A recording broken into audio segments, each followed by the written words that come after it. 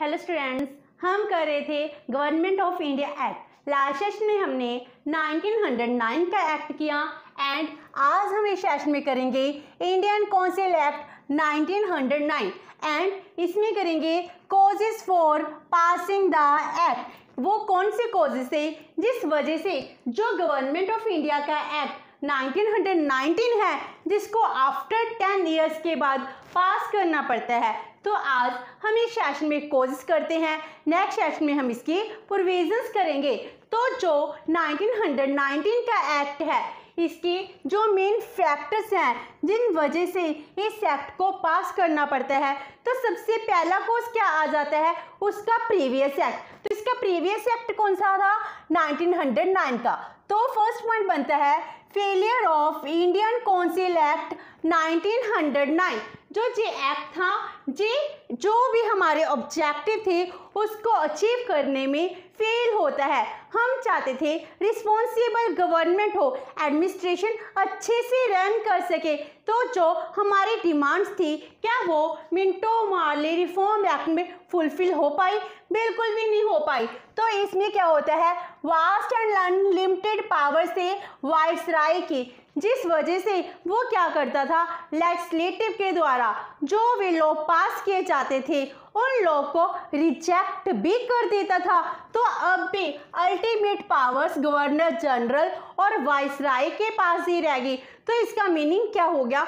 जो numbers increase किए गए थे लेजिस्लेटिव असेंबली वो तो सिर्फ़ नाम की ही रह गई थी। इसमें जो हमारे ऑब्जेक्टिव थे, वो अचीव नहीं हो पाए। एंड जो हम स्टार्टिंग से डिमांड करते हैं आंसर एबल गवर्नमेंट वो भी इस्टेब्लिश नहीं हो पाई। तो आंसरेबल गवर्नमेंट के ना होने की वजह से हम ये चाहते थे एडमिनिस्ट्रेशन में रिफॉर्म होने चाहिए। जो गवर्नमेंट है, अपने हर एक काम के लिए रिस्पॉन्सिबल हो। और जो मिनिस्टर्स थे, वो क्या करते थे? जो लेजिस्लेटिव के द्वारा सप्लीमेंट्री क्वेश्चन भी पूछे जाते थे। उनको आंसर देने में डिनाई कर देते थे। इसीलिए हम डिमांड कर रहे थे आंसरेबल गवर्नमेंट की। एंड जो मेंबर्स थे, इनमें मेजोरिटी किनकी थी? ऑफिशियल मेंबर्स की। क्योंकि जब इसके सेंट्रल लेजिस्लेटिव असेंबली में मेंबर्स इंक्रीज किए जाते हैं 69 मेंबर्स होते हैं। 69 मेंबर में से क्या होता है? जो 37 मेंबर्स होते हैं, वो होते हैं ऑफिशियल एंड 32 होते हैं नॉन ऑफिशियल। अगर 37 ऑफिशियल मेंबर्स हैं, इनकी गिनती है एंड इनमें से भी फाइव मेंबर्स नॉमिनेटेड थे तो इस तरह मेंबर्स जो भी बिल पास करते थे, उसमें लेजिस्लेटिव असेंबली में ऑफिशियल मेंबर्स गवर्नमेंट की फेवर की बात करते थे और बिल पास नहीं हो पाता था। तो जो फ़र्स्ट एक्ट था, इसमें भी बहुत ज़्यादा प्रॉब्लम्स थी। तो इसके बाद नया एक्ट पास करने के क्या क्या कोजेस हैं? तो इसका सेकंड कोज बनता है change in the policy of Muslim League क्योंकि जो 1909 का एक्ट था, इसमें क्या किया गया? हिंदू एंड मुस्लिम में इनके पॉपुलेशन के अकॉर्डिंग जो क्यूमिनल अकॉर्ड था मीनिंग आपको, आपकी कम्युनिटी के अकॉर्डिंग ही वोट्स हैं, वो दे जाएँगे। इस तरह उन्होंने हमको डिवाइड एंड रोल करने की पॉलिसी को अडॉप्ट किया। हिंदू अलग, मुस्लिम अलग, जो एक्स्ट्रा ऑर्डनरी क्लासेस हैं, उनके लिए अलग से इलेक्ट्रोट है, इसको इस्टेब्लिश किया। लेकिन इस टाइम पीरियड में हिंदू एंड मुस्लिम है, जी दोनों साथ बढ़ने लगती है। इनकी यूनिटी इंक्रीज हो जाती है, क्योंकि जब बालकन वॉर होती है, बालकन वॉर में क्या होता है? उसमें जो ब्रिटिशर हैं ब्रिटिशर टर्की के अंगेस्ट होते हैं एंड जो मुस्लिम्स हैं जी मुस्लिम क्या करते हैं? जो इनकी सिमती है टर्की के लिए होती है बिकॉज़ ऑफ़ रिलीजन्स एस्पेक्ट तो इसमें क्या होता है? और जो कांग्रेस है, वो भी क्या करती है? टर्की के लिए सिंपति रखती है। लेकिन ब्रिटिशर है, वो इनके अंगेंस्ट लड़ते हैं। तो इनको पता चलता है, हमको आपस में यूनाइट होना पड़ेगा। इसलिए हम ब्रिटिशर हैं, इनको अपने कंट्री से भगा सकते हैं। तो जो हमारा पर्पस था कि ब्रिटिशर जो कह रहे हैं, हम इसके अंगेंस्ट हो गए ब्रिटिशर हिंदू एंड मुस्लिम के नाम पर हमको डिवाइड करना चाहते थे। लेकिन इंटरनेशनल सिचुएशंस हैं वो सिचुएशन और हिंदू एंड मुस्लिम को साथ ले आती हैं। तो during World War one Turkey है, वो जर्मनी को ज्वाइन कर लेता है। इसीलिए जो इंडियंस हैं स्पेशली जो मुस्लिम हैं, उनकी टर्की के साथ साथ जर्मनी के लिए भी सिंपति होती है। लेकिन जर्मनी क्या है? ब्रिटिशर के अंगेज थी फ़र्स्ट वर्ल्ड वॉर में। और इसको जिताने के लिए ब्रिटिशर को जिताने के लिए इंडियंस ने बहुत ही इम्पोर्टेंट रोल प्ले किया था। हमने फाइनेंशियल हेल्प भी की थी मिलिट्री की हेल्प भी की थी। तो इस अंगे टाइम में क्या होता है? जो हिंदू एंड मुस्लिम है, वो यूनाइट हो जाते हैं। और Indian National Congress and Muslim League ये दोनों कलेक्टिवली एफर्ट करते हैं कि हम आपस में मिल जाएँ। इसके एफर्ट्स की वजह से रीयूनाइट होते हैं और लखनऊ पैक्ट है। 1916 में वो पास होता है, जिसमें क्या किया जाता है ये दोनों आपस में यूनाइट होकर ब्रिटिशर के अंगेंस्ट लड़ना स्टार्ट करेंगे। इस तरह जो पॉलिसीज़ ऑफ़ मुस्लिम लीग हैं, ये भी चेंज हो जाती है। After that third point is repressive policy of Britisher जो ब्रिटिशर हैं वो क्या कर रहे हैं? हमारे अंगेंस्ट, बहुत ही रिप्रेसिव ऑप्रेसिव पॉलिसीज़ हैं, वो यूज़ कर रहे हैं। उन्होंने ड्यूअल पॉलिसी है। इस पॉइंट को यूज़ किया। ड्यूअल पॉलिसी का मीनिंग हो गया कि हमारे ही कंट्री में जो कांग्रेस के टू ग्रुप बन जाते हैं एक्सट्रीमिस्ट एंड मॉडरेट इन दोनों के साथ डिफरेंट डिफरेंट पॉलिसीज़ हैं। वो पॉलिसीज़ को अडॉप्ट करते हैं। वो जो मॉडरेट हैं, इनके साथ सिंपति रखते हैं। क्योंकि मॉडरेट्स को उन्होंने क्या किया? अपने पार्लियामेंट में भी इंक्लूड किया था। जो लेजिस्लेचर असेंबली है मॉडरेट के मोस्ट ऑफ़ द लीडर्स इस असेंबली का मेंबर बन जाते हैं। लेकिन जो एक्सट्रीमिस्ट थे, जैसे बाल पाल लाल उनके अंगेंस्ट ऑपरेसिव पॉलिसी अडॉप्ट करते हैं। वो जहाँ भी दिखते हैं, उनको मारते हैं एंड उनको जो प्रिजन्स हैं, इनमें ले जाते हैं। जिस वजह से इन्होंने जो मॉडरेट एंड एक्सट्रीमिस्ट हैं डिफरेंट डिफरेंट पॉलिसीज़ हैं, वो बनाते हैं। और इसके अलावा जो क्रिमिनल लॉ अमेंडमेंट की जाती है, जो 1913 का था, इसमें क्या कहते हैं? अगर कोई भी ब्रिटिशर के अंगेस्ट कुछ भी बोलते हैं तो उसको बिना कुछ कहे हम जेल में भी लेकर जा सकते हैं। तो उसको कहाँ ले जाते थे? कहाँ मारते थे? कुछ नहीं पता चलता था। तो इसके अगेंस्ट एक्सट्रीमिस्ट खड़े थे। इसीलिए ब्रिटिशर क्या करते थे?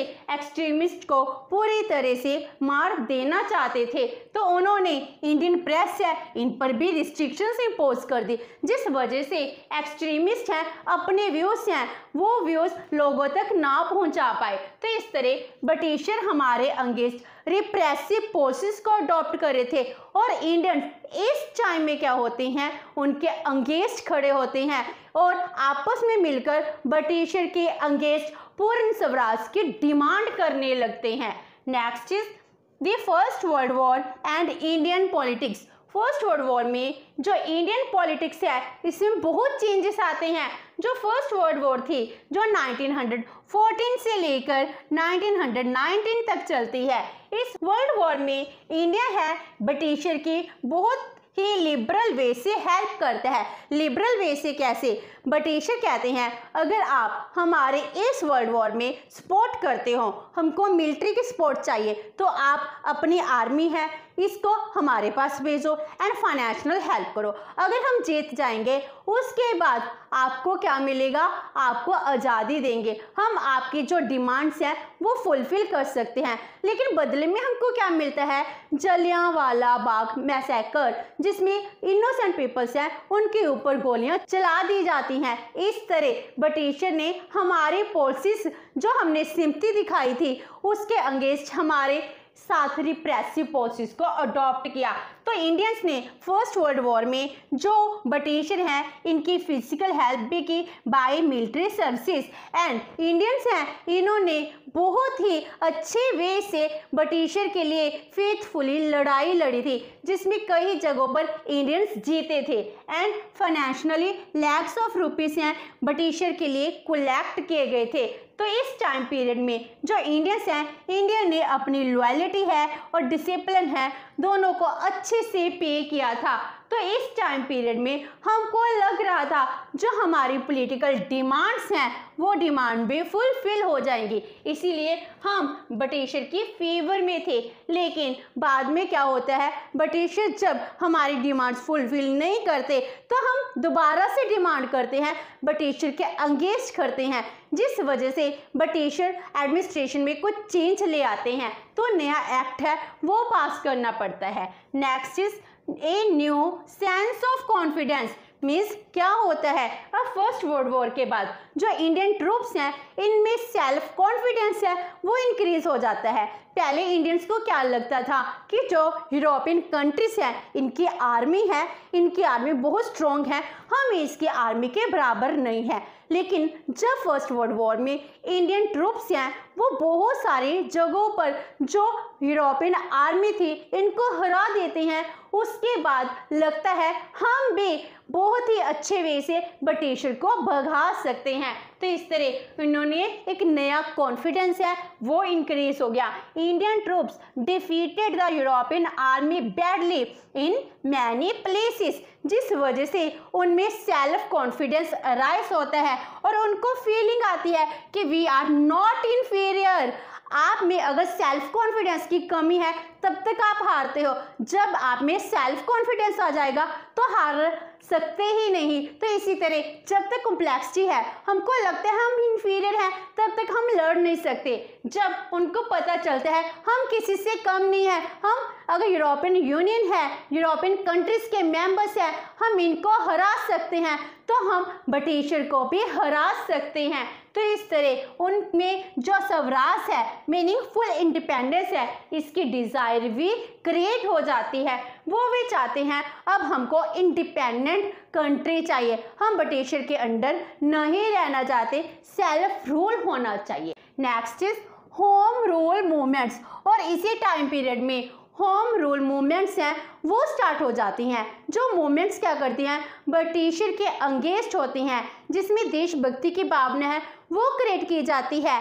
जिसमें कहा जाता है, हमको इंडिपेंडेंट के साथ ही जीना है। जिसमें दो फ़ेमस नेम आते हैं Mrs Annie Besant and Tilak तो जो प्रोपोगेट करते हैं होम रूल मूवमेंट को, और इसके अलावा हर अब जगह पर डिफरेंट डिफरेंट रिफॉर्मर्स नेशनलिस्ट हैं, जो क्या करते हैं होम रूल मूवमेंट्स हैं, इनको स्टार्ट कर देते हैं कि हमको अपने लिए खुद ही रूल करना है। हम अपने लोग खुद बनाएँगे। हम सेल्फ डिपेंडेंट चाहते हैं। हम नहीं चाहते कि हमारी कंट्री में ब्रिटिश का रूल चले। इसी को होम रूल मूवमेंट कहा जाता है।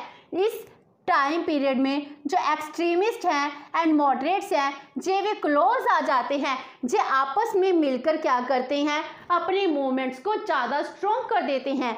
एंड इसी टाइम पीरियड में जो स्टूडेंट्स होते हैं वो भी इन मूवमेंट्स को ज्वाइन कर लेते हैं। पहले क्या था? एक्सट्रीम कुछ लीडर्स थे और एक्सट्रीमिट एंड मॉडरेट के लीडर्स थे। इस तरह अब जंग जनरेशन है, वो भी इंडिपेंडेंस के लिए लड़ने लगी है। जब युद्ध सामने आता है, उसके बाद ब्रिटिशर भी डर जाते हैं, जिसमें हम कहते हैं भक्त सिंह तो जो शहीद भक्त सिंह थे, वो भी क्या थे? वो तो भी एक युद्ध थे जो कॉलेज टाइम से। देश को इंडिपेंडेंट कराने के लिए क्या करते हैं? देश के लिए अपनी जान दे देते हैं। उनकी एंगेजमेंट हो जाती है। लेकिन वो अपनी एंगेजमेंट छोड़कर, अपनी शादी को तोड़कर क्या करते हैं? देश के लिए शहीदी प्राप्त करते हैं। तो ये सब कुछ क्या था? क्योंकि यूथ चाहती है। अब हम ब्रिटिशर के अंगेज करे हैं। हम ब्रिटिशर की अंडर रूल नहीं करेंगे। तो ब्रिटिशर क्या पॉलिसी अडॉप्ट करते हैं? ऑपरेसिव पॉलिसी इन लीडर के अंगेज खड़ जाते हैं। तो इस तरह ब्रिटिश ऑपरेसिव पॉलिसीज़ अडॉप्ट करते हैं। और जो इंडियंस हैं इंडियन नेशनलिस्ट हैं, वो क्या कर रहे हैं? ब्रिटिशर के अंगेज खड़े हैं। तो दोनों में एक तरह से टकराव स्टार्ट हो जाता है। हम स्वराज की डिमांड कर रहे हैं, जिसमें जो बाल गंगाधर तिलक हैं, वो कहते हैं swaraj is my birthright and I shall have it मेरे पास ये होना चाहिए. तो इस तरह लाला लाजपत राय हैं, बाल गंगाधर तिलक है, वो क्या करते हैं? नॉन वायलेंस की नहीं, अगर आप हमको अपनी आज़ादी नहीं देंगे। हम वायलेंस मीन है, ये भी यूज़ कर सकते हैं। अगर आप हमारे जो पर्सन हैं आर्मी है इनोसेंट पीपल को मारोगे, हम भी आप ब्रिटिशर को मार सकते हैं। तो इस तरह टिट फॉर टैट की पॉलिसी अडॉप्ट की जाती है, जिसकी वजह से ब्रिटिशर हैं, हम लोगों को शांत करना चाहते हैं। एंड इसी टाइम पीरियड में नया रूल है, नए जो लेफ़्ट है, उसको पास करने की ज़रूरत पड़ जाती है। Next is the Ghadar party जो गदर पार्टी है, ये भी इस्टेब्लिश होती है। जो गदर पार्टी है, ये क्यों इस्टेब्लिश होती है? क्योंकि रेशियल डिस्क्रिमिनेशन होता है and maltreatment with Indians in foreign countries foreign countries में इंडियन के साथ अच्छा बिहेव नहीं हो रहा। उनको फ़र्स्ट क्लास रेलवे में बैठने नहीं दिया जाता। एंड जहाँ पर यूरोपियन के घर हैं, वहाँ पर इंडियंस नहीं रह सकते थे। जिन स्कूल्स में उनके बच्चे जाते हैं, हमारे उनके बच्चे नहीं जा सकते थे। तो इस तरह रेशियल डिस्क्रिमिनेशन होता है। तो फॉरनर को ये समझ आता है कि हमारे साथ जो कुछ भी हो रहा है, जो भी मल ट्रीटमेंट हो रहा है, इसकी वजह क्या है कि इंडिया स्लेव है। स्लेवरी कंट्री के साथ ऐसा ही बिहेव होगा। इसीलिए वो भी इंडिया को इंडिपेंडेंट कराना चाहते थे। इसीलिए उन्होंने गदर पार्टी है, इसको इस्टेब्लिश किया इन 1913 जिसको सोहन सिंह बगना है, वो इस्टेब्लिश करते हैं। एंड उसकी बहुत सारी ब्रांचेस है, वो खोली जाती हैं। एक ब्रांच पंजाब में भी होती है। तो न्यूज़पेपर गदर है, वो छापते हैं। तो इसमें जो देशभक्ति की फीलिंग्स हैं, उसको उजागर किया जाता है। एंड इसी गदर पार्टी में जो फ़र्स्ट वर्ल्ड वॉर होती है, इस टाइम जो गदर पार्टी है, इस गदर पार्टी ने इंडिया में आते हैं, लोगों में देशभक्ति की भावना है, उसको क्रिएट करते हैं। एंटी कॉलोनियल रूल के अंगेंस्ट आवाज़ उठाते हैं। और इस टाइम पीरियड में 17 इयर्स का लड़का करतार सिंह सराबा जो शहीद हो जाता है। मैंने वो ब्रिटिशर के अंगेज था, इसीलिए ब्रिटिशर ने उसको मार दिया। इस तरह सतारह सालों का बच्चा भी क्या करता है? देश के लिए, आज़ादी के लिए अपनी आजान है, उसको कुर्बान कर देता है। तो इस तरह गदर पार्टी क्या करती है? रेवोल्यूशन कर देती है।